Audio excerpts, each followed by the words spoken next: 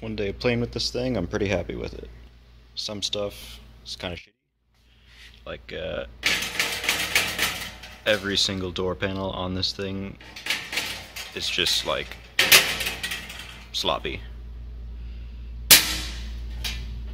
This table is clearly not square with the frame of the actual cutter.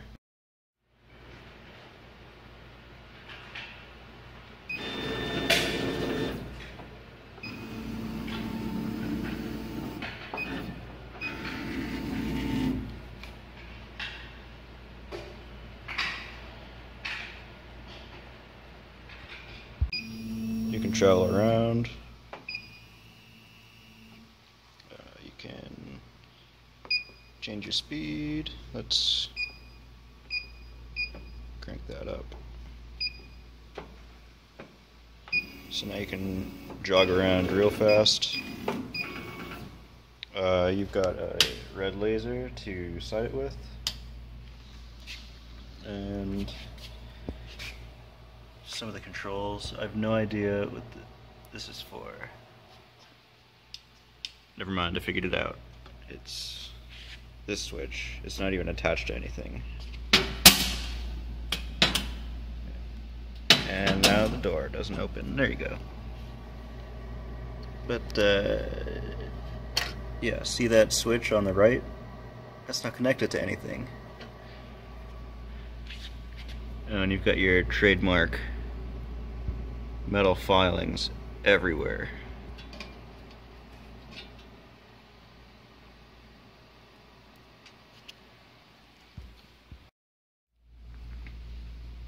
So it comes with an air compressor for your air assist and an aquarium pump to cool your laser tube, which is in here, which is underneath everything. I'm not going to open it.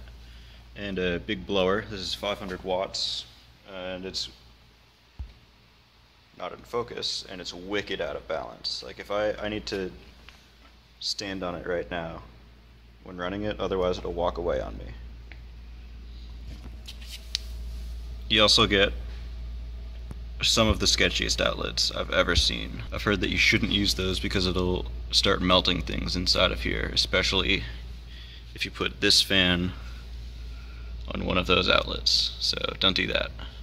It was all focused in right out of the box, so that was nice. I didn't need to like play around with these thumb screws or anything to get it to cut a straight line or anything. Um, can't say that for that thing over there. It's got a safety interlock built in. Protects if it's down. But I think you can turn off. I think you can bypass that switch. Not sure. It also has a big red button with a twist lock. That's nice. And it actually works. Good to know that when you go for the not quite bottom of the line tool, get a little bit of safety. Uh, we are cutting at 15 millimeters per second at 75% power on right on this. Um, it's coming out pretty good. You're getting a little bit of flashback just when the laser reflects off these guys, but um, so far so good. Day one, pretty happy.